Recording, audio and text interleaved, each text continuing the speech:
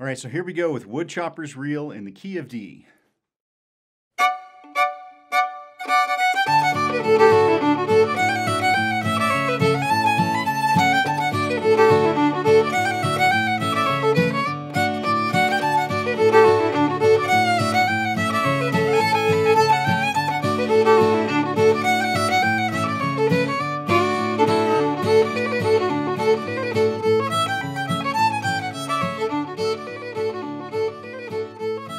All right, so here we are at the basic melody tutorial for the great tune Woodchopper's Reel, uh, played in the key of D.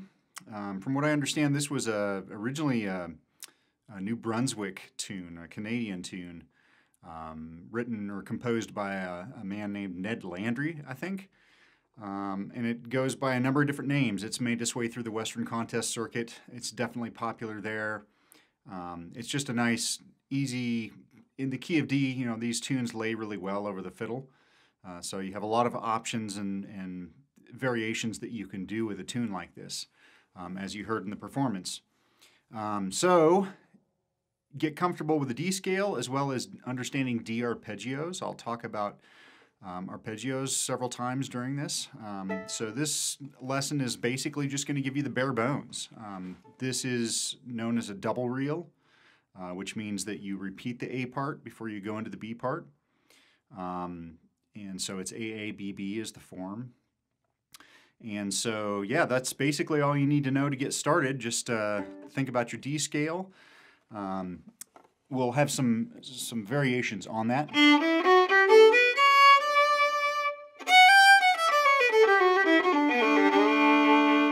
Um, but that's basically what we're going to be working around as well as an A arpeggio. Um, that will come into play in the second part for sure. Okay, so let's go ahead and get started. Um, you can use some chops, either second finger, third finger, second finger on your D string, third finger on your A string. So that would make a D chord. Or you can do third finger on your D, uh, A string uh, and first finger F sharp on your E string. Um, and usually I'll start off with four chops um, to start this tune. Um, so that would sound like all right and those two first pickup notes I do like to slur them. And starting with that um, A note I'll play a little bit and then I'll break it down. Okay so you notice I put a slur in halfway down there as well. But from here it's 3 1 3 1 open Try that. Okay, now slur these. I would recommend one of those three note Texas style slurs here. Three, two, one, open.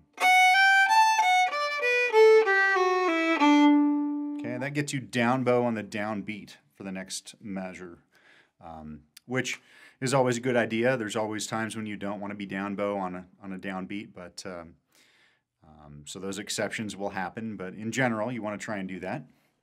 So that D note that we hit is the beginning of our first arpeggio.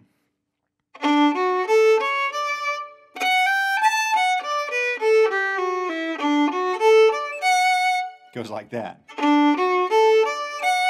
So that is absolutely a, a D arpeggio. Okay, putting those together.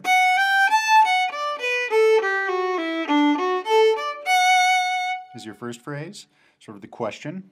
Your answer is, okay, so here we go with the advanced tutorial for the great tune Woodchopper's Reel. Um, so I'll play through this tune in a way that was similar to the performance, um, bit by bit, and I'll break down those licks for you uh, and show you some of the different double stops and trills and variations and ornamentation that I was playing. Um, to start off, why don't we take a look at those pickup notes? Uh, I think I showed you this in the basic melody, but it bears repeating. Okay, so instead of just using a G natural right there with your second finger, why don't you turn that into a triplet phrase? Use your C or your uh, G note and slide it up to a, um, a high two. Okay, that's one thing you can do to start. Um, so why don't I go ahead and play through one time and we'll see what pops out and I'll show you what I'm doing.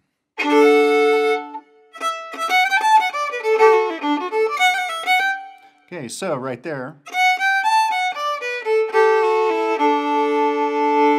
So I'm allowing my A string to ring as I walk down that.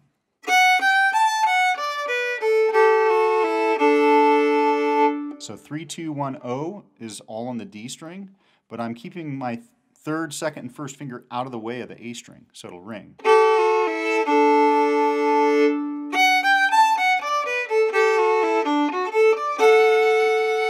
Okay, you can keep your A string going right there. You can do a hammer on.